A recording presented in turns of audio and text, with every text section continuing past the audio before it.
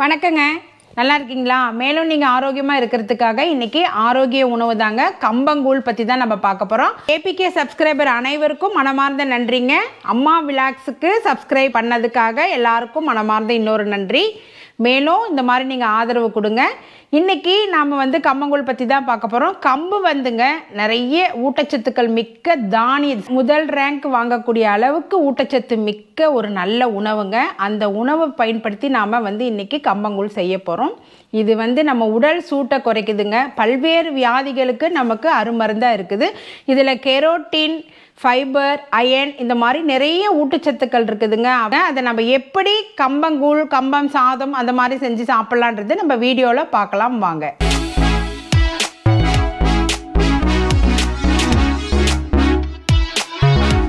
இப்போ கம்பங்கூழ் செய்யறதுக்கு தேவையான பொருட்கள் என்னென்னன்னு பார்த்துடலாங்க. கம்புங்க அரைப்படி. அன்னைக்கு ஒரு நா- அன்னைக்கு இப்போ லாஸ்ட் வீடியோவில் நீங்கள் பார்த்துருப்பீங்க. க்ளீன் பண்ணி எடுத்து வச்சது தான் அதை வந்து நைட்டே நாம் ஒரு ஒன்பது மணிக்கு ஊற வச்சுட்டு நல்லா க்ளீன் பண்ணி நல்லா சுத்தமாக நாலஞ்சு டைம் க்ளீன் பண்ணி ஊற வச்சிருந்தேங்க. அந்த மாதிரி ஊற வச்சு வடித்து வச்சுருக்கிறேன் இது அரைப்படி இருக்குங்க. அதுக்கு தேவையான பொருள் இன்னொன்று ஸ்பெஷல் என்னென்னா கூழுனாவே மோர் தாங்க. அதுக்கு சைட் டிஷ் வந்து மல்லி சட்னி மாங்காங்க சுண்டக்காய் நெல்லிக்காய் வெங்காயம் உப்பு மல்லி இலை முருங்கை இலைங்க. இதுதான் தேவையான பொருள்கள். இப்போ எப்படி கூழ் ரெடி பண்ணலான்றது பார்க்கலாம் வாங்க. ஃபஸ்ட்டு இது நீங்கள் டிபார்ட்மெண்ட் ஸ்டோர் வாங்கினீங்கனாலும் சரி எங்கே வாங்கினாலும் சரி கண்டிப்பாக இந்த கம்பில் கல் இருக்குங்க. சின்ன சின்ன கல் இருக்கும். அதை எப்படி சுத்தம் பண்ணி எடுத்துக்கலான்றது பார்க்கலாங்க. இப்போ நைட்டே நீங்கள் ஊற வச்சிட்டீங்க. அந்த தண்ணியை கொஞ்சமாக விட்டு இங்கே பாருங்கள் நல்லா இப்படி அடியில் வந்து ரவுண்டாக இருக்கிற ஷேப் இருக்கக்கூடிய பாத்திரத்தில் போட்டுட்டு இப்படி அசைச்சிங்கன்னா இந்த விரலை இப்படி இப்படியே மெதுவாக இப்படி பண்ணிங்க அப்படின்னு சொன்னீங்கன்னா நிறைய அந்த கல்லெல்லாம் அடியில் தங்கிட்டு இந்த சுத்தமான கம்பு மட்டும் மேலே வந்துருங்க. அது மாதிரி இதே மாதிரி எல்லாமே செஞ்சு எடுத்துக்கலாங்க. பாருங்கள் இந்த கடைசி ஸ்டேஜ் வரும்போது எவ்வளோ ஸ்லோவாக பண்ணணுமோ அவ்வளோ ஸ்லோவாக பண்ணுங்க. ஏன்னா அடியில் நிறைய மண்ணுக்கல் இருக்கும். இங்கே பாருங்கள் பார்த்தீங்களா இவ்வளோ இருக்குங்க. அவங்க சுத்தம் பண்ணாலும் இந்த மாதிரி சில இதெல்லாம் வர செய்யும். நாம தான் நல்லா க்ளீன் பண்ணி எடுத்துக்கணுங்க. இப்போ நாம் வந்து குக்கரில் வச்சுக்கலாங்க. நம்ம முன்னோர்கள் அப்படிலாம் பார்த்தீங்கன்னா நைட் அடுப்பு நைட் அடுப்புலேயே வந்து இந்த கம்பை போட்டுங்க. தண்ணி ஊற்றி தேவையான அளவுக்கு தண்ணி ஊற்றி லேசாக அப்படியே அனல் வச்சுட்டு படுத்துருவாங்க. காலையில் எழுந்து பார்த்தா அவங்களுக்கு ரெடி ஆகிடும் நாம் ஃபாஸ்ட் லைஃபாக ஓடிட்டு இருக்கிறதுனால நம்மளுக்கு அப்படி முடியாது. அதனால குக்கர்லேயே வச்சுக்கலாங்க. சீக்கிரமாக ரெடி ஆகிடும் இல்லை அப்படின்னா நீங்கள் அதே மாதிரி சட்டி அடுப்பில் வச்சு கூட பாத்திரத்திலே செஞ்சுக்கலாங்க. அது இன்னும் ஆரோக்கியங்க. குக்கரை விட அது இன்னும் ஆரோக்கியம்.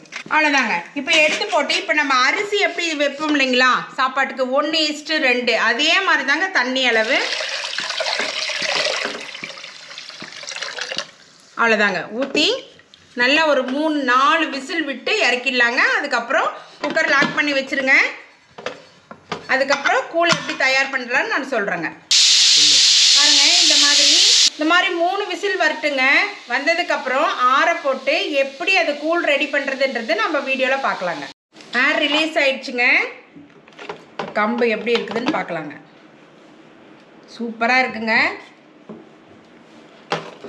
பாருங்க நல்லா வெந்து அருமையாக இருக்குது இந்த மாதிரி ஸ்டேஜில் வந்து நீங்கள் இப்படியே எடுத்து போட்டு சாம்பார் புளிக்குழம்பு அதோட கூட நீங்கள் சாப்பிட்லாம். அந்த மாதிரி இருக்கலாம். இப்போ இது என்ன பண்ணலான்னா நல்லா ஆற வச்சிடலாங்க.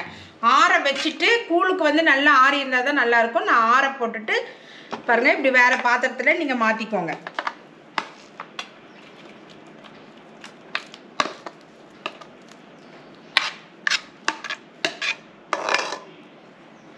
அவ்வளோதாங்க இது நல்லா ஆறுனதுக்கப்புறம் நம்ம கூழ் ரெடி பண்ணிடலாங்க. பாருங்க நல்லா ஆறிடுச்சு. இப்போ ஒரு பாத்திரத்தில் தண்ணி வச்சுக்கிட்டு சூடே இல்லைங்க. இந்த மாதிரி நல்லா உருட்டிக்கோங்க. உருட்டி இந்த மாதிரி ஒரு பெரிய பாத்திரத்தில் நல்லா நிறைய தண்ணி ஊற்றிடுங்க தண்ணி ஊற்றி இந்த மாதிரி பானை வாங்கி ஈர துணி சுற்றி அதில் இப்படி போட்டு வச்சிருங்க. இந்த மாதிரி போட்டு வச்சிட்டிங்கன்னா நீங்கள் வந்து ரெண்டு நாள்னா கூட யூஸ் பண்ணிக்கலாங்க. உங்களுக்கு தேவையான பொழுது எடுத்து போட்டு கரைச்சிக்கலாங்க. இந்த மாதிரி உருண்டை பண்ணி போட்டு தண்ணி ஊற்றி வச்சிருங்க. சூடாக இருக்கும் போது தண்ணி ஊற்றாதீங்க நல்லா ஆறுனதுக்கப்புறம் தண்ணி ஊற்றிடுங்க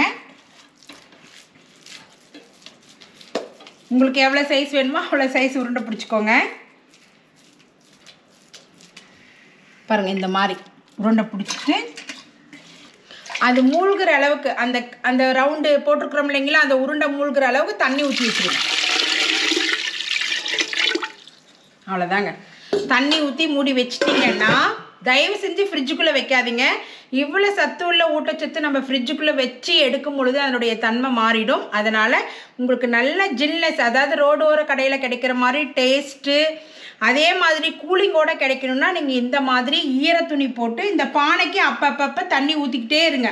இந்த ட்ரை ஆன உடனே கொஞ்சம் தண்ணி ஊற்றுங்க இப்படியே ஊற்றிட்டே இருக்கும் பொழுது அடியில் ஒரு பாத்திரம் வச்சுங்க அந்த தண்ணி அதில் இறங்கும். அவ்வளோ டேஸ்ட்டாக கூலிங்காக நம்ம அந்த ஊட்டச்சத்து குறையாம அப்படியே நம்ம யூஸ் பண்ணலாங்க. இப்போ நான் உங்களுக்கு கூழ் எப்படி ரெடி பண்ணுறதுன்னு காமிக்கிறேங்க.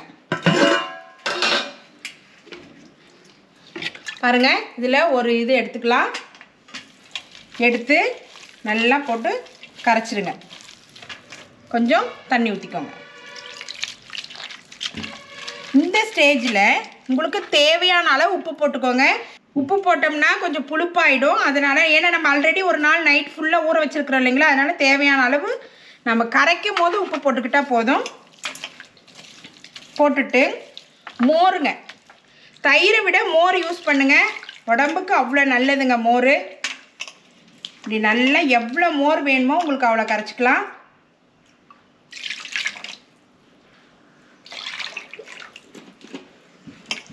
பாருங்கள் அவ்வளோதாங்க கூழ் ரெடி ஆயிடுச்சுங்க. சிம்பிளாக ரெடி ஆயிடுச்சுங்க. இதை விட அருமையான மருந்து நம்ம டாக்டர்கிட்ட போய் வாங்கிட்டு வந்து குடிக்கிறதுல இல்லைங்க. இது அவ்வளோ சத்து உள்ளது. ஏன் நிறைய பேர் பயன்படுத்த மாட்டேன்றதுக்கு ஒரு காரணம் என்னன்னு பார்த்தீங்கன்னா தானியம் செய்யும் பொழுது நம்ம பக்கத்திலே இருந்து செய்யணும். அது களியாக இருந்தாலும் சரி ராகியில் செய்யக்கூடிய களியாக இருந்தாலும் சரி இந்த மாதிரி கம்பு ஐட்டமாக இருந்தாலும் சரி பக்கத்திலே இருந்து நிறைய டைம் ஸ்பெண்ட் பண்ணி செய்யணுன்றதுனால தான் நம்மளுக்கு என்ன ஆகுதுன்னா அது யார் செய்கிறா அப்படின்ட்டு நம்ம அரிசியை யூஸ் பண்ணிக்கிறோம்.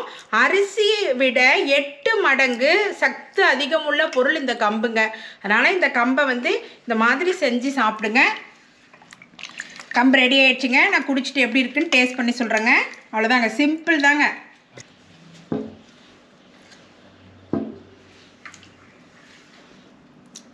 நல்லா உப்பு கரைச்சி விட்டுருங்க. கல்லுப்பு போட்டுக்கோங்க. தூளுப்பு போடாதீங்க.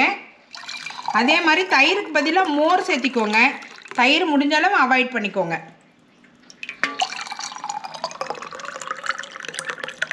இங்கே ரெண்டு பேருக்கு கரெக்டாக ரெண்டு இதே ரெடி ஆயிடுச்சுங்க. இதில் நீங்கள் வந்து சின்ன வெங்காயம். பெரிய வெங்காயம் வேணாங்க. சின்ன வெங்காயம் சேர்த்திக்கோங்க. உடம்புக்கு ரொம்ப ஆரோக்கியங்க சின்ன வெங்காயம். நிறைய சத்துக்கள் இருக்குது அதனால் முடிஞ்ச அளவு எல்லா சமையல்லையும் சின்ன வெங்காயம் பயன்படுத்துங்க. இந்த சின்ன வெங்காயம் இப்படி மேலே போட்டுடலாங்க இதுக்குள்ளே உங்களுக்கு எது பிடிக்குமோ அது போட்டுக்கலாம். இது கூட மல்லி இலைங்க. மல்லியிலையும் நிறைய நமக்கு நிறைய சத்துக்கள் இருக்குது அதனால் இதையும் நம்ம அயனு கால்சியம் இந்த மாதிரி நிறைய சத்து இருக்குது அதையும் பச்சையாக எடுக்கிறதுல இன்னும் ஆரோக்கியங்க. அது போட்டுக்கலாம். கொஞ்சம் முருங்கை இலைங்க. லேசாக அந்த கொழுந்து மாதிரி இருக்குங்களா அது ஒரு பிஞ்சு. இந்த மாதிரி எல்லாம் நம்ம பச்சையாக சேர்த்திட்டு வரும்பொழுது நம்ம உடம்புக்கு நிறைய ஆரோக்கியம் கிடைக்குங்க. பாருங்கள் இந்த மாதிரி கலர்ஃபுல்லாக ரெடி பண்ணி ஒரே ஒரு கலக்குங்க. இது வந்து நல்லா உங்களுக்கு கூலிங் கொஞ்சம் நல்லா குடிக்கும் போது நல்லா வேணும். கூலிங்காக உள்ளே போகணுன்னா இந்த மாதிரி பாத்திரத்தில் இந்த மாதிரி பானையில் போட்டு இப்படி மூடி வச்சிருங்க. இப்படி வச்சிட்டிங்கன்னா அரை மணி நேரம் கழித்து நீங்கள் எடுத்து குடி குடிக்கும்போது அமிர்தம் மாதிரி இருக்குங்க. எத்தனை ஃபைவ் ஸ்டார் ஹோட்டலில் போய் தேடி கிடைக்காத ஒரு சந்தோஷம் இந்த உணவில் நமக்கு கிடைக்குங்க. அதனால் கண்டிப்பாக இதை டேஸ்ட் பண்ணி பார்க்கலாங்க. இப்போ நான் எல்லாம் ரெடி பண்ணாங்காட்டி மாங்காய் எல்லாம் பார்த்தாங்காட்டி வாய் ஊறுதுங்க.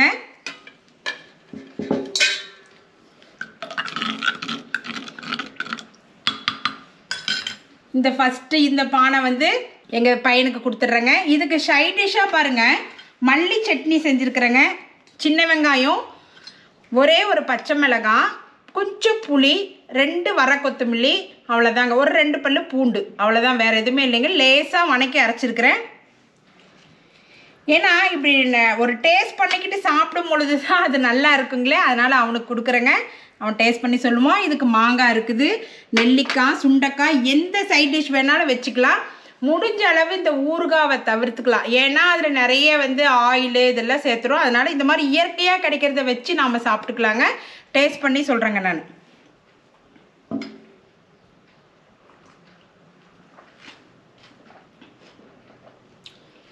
அமேசிங்க சூப்பராக இருக்குங்க. கடையில் சாப்பிடக்கூடிய ரோட்டு கடை ஓரத்தில் சாப்பிடக்கூடிய அதே டேஸ்ட்டு இதில் நிறைய அயன் இருக்குங்க. கால்சியம் விட்டமின் இந்த ஏகப்பட்ட சத்துக்களில் மிக முக்கியமான சத்துக்கள் எல்லாமே இருக்குங்க. இது வந்து கண்டிப்பாக எடுத்துக்கணும். சின்ன கொ- இருந்தே நிறைய பேருக்கு ஹார்ட் ப்ராப்ளம் சுகர் ப்ராப்ளம் இந்த மாதிரி எல்லாம் சின்ன வயசுலேருந்தே குழந்தைங்க பாதிச்சிடுறாங்க. ஊட்டச்சத்து இல்லாதனால தான் அந்த மாதிரி குழந்தைங்களுக்கு டெய்லி ஃபுட்டில் ஒரு நாள் ஃபுட்டு நம்ம சாப்பிட்றோம்னா அது இந்த மாதிரி கூலாக எடுத்துக்கலாம். இல்லைன்னா இட்லி தோசை சாப்பிட்றவங்களா இருந்தால் அந்த மாவோட நம்ம இந்த கம்பை சேர்த்து அரைச்சிக்கலாம். அடை மாதிரி தட்டி கொடுக்கலாம். ஆனாலும் டெய்லி ஒரு விதத்தில் இந்த கம்பை நாம் பயன்படுத்திட்டு வந்தோம் அப்படின்னா இர்ரெகுலர் பீரியட்ஸில் பீரியட்ஸ் முதற்கொண்டு நிறைய பிரச்சனையை நம்ம சமாளிக்கலாங்க. முக்கியமாக வெயிட் லாஸ் பண்ணுறவங்க அதாவது உடல் பருமனாக இருக்கிறதுக்கு காரணம் முக்கிய காரணம் என்னன்னு பார்த்தீங்கன்னா அவங்களுக்கு அடிக்கடி பசி எடுக்கும். அந்த பசி எடுக்கிறதுனால அவங்க என்ன பண்ணுவாங்க அப்படின்னா நிறைய ஜங்க் ஃபுட்ஸ் சாப்பிட ஆரம்பிச்சிருவாங்க. அது ஒரு ரீசனுங்க அதனால உடல் பருமனாகும். அந்த மாதிரி இருக்கிற குழந்தைங்களுக்கெல்லாம் நீங்கள் இந்த மாதிரி செஞ்சு பானையில் ஸ்டோர் பண்ணி அதாவது ப்ளஸ் மோரோடு சேர்த்து வச்சிட்டிங்க அப்படின்னா அவங்க இதை குடிச்சிட்டு வரும்பொழுது நிறைய பசி உணர்ச்சியை தூண்டாமல் அவங்களுக்கு இன்னும் ஆரோக்கியத்தை கொடுக்குங்க.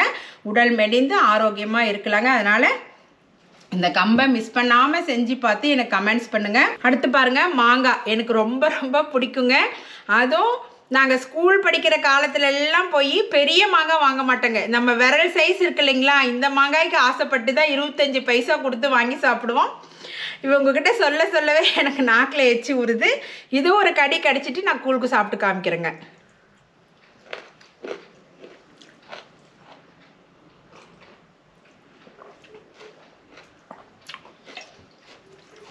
உண்மையிலே நாங்கள் சிக்ஸ்த்து படிக்கும் போதுன்ற அந்த சூழ்நிலையே என் கண்ணு முன்னாடி வந்துருச்சுங்க. அந்த அளவுக்கு அவ்வளோ சூப்பராக இருக்குங்க.